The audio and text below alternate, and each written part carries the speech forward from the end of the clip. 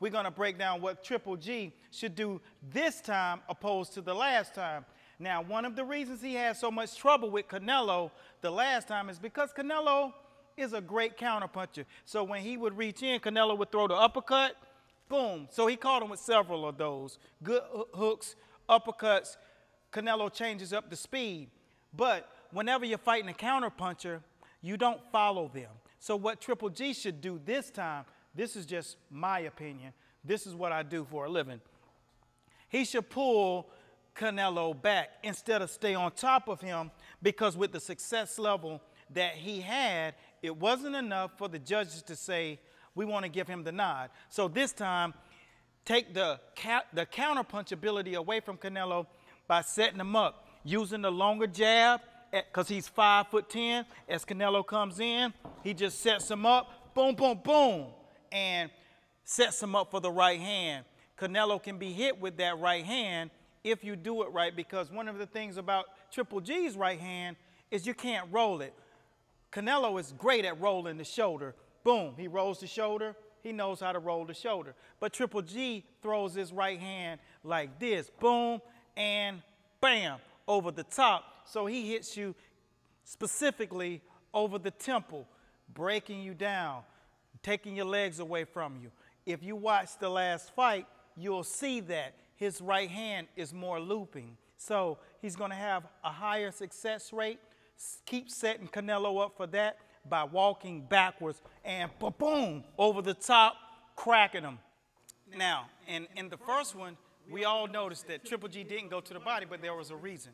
Because Canelo is a great counterpuncher. So like I said, if he draws him back, he draws him back off the jab, boom, and he closes the gap, then he can get that body shot in there. And he must go to the body this time. Break him here, then slide that thing over here, boom, and step back out, reset, let him walk back on top of him. Canelo has to soon come, boom, and bam.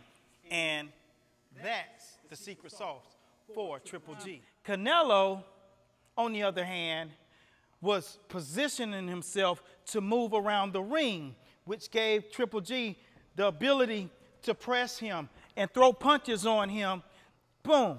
And he found himself, even though he ricocheted a lot of the punches, he did not convince the fans that his defensive prowess really was enough to keep Triple G off of top of him. So what Canelo should do, any fighter, whenever you're fighting a guy who has pressure, your objective is not to run away from him, unless you're Muhammad Ali. It's to go into the eye of the storm, stay in his chest, boom, break around, body shots over the top, uppercuts here, stay here, stay here. What we call bulldog. Get under the armpits, out of the way of danger. Now, right here, he's in extreme danger. Right here, under the armpits, where he can break and roll and go upside, break him down to the body, uppercuts, boom.